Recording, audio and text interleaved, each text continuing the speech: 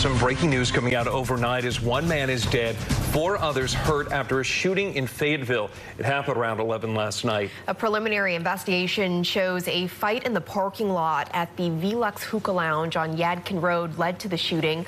Police found one person dead when they got there. The other victims were taken to the hospital.